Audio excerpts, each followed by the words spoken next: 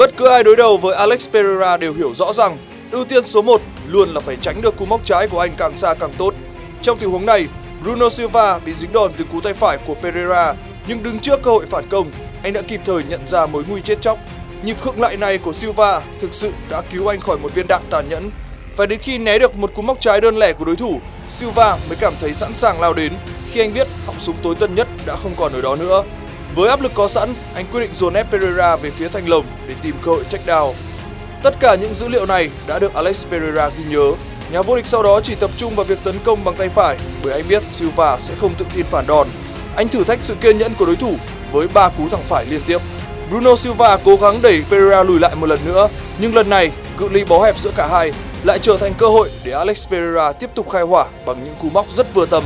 Silva không còn cách nào khác ngoài việc phải rút lui, để rồi anh lại bị đối phương tra tấn bằng cú tay phải.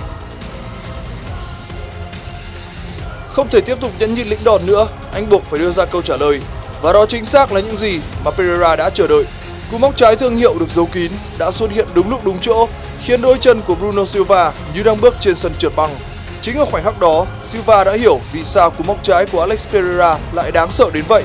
Ai cũng biết nó sẽ đến, nhưng vẫn chẳng thể làm cách nào để ngăn cản được.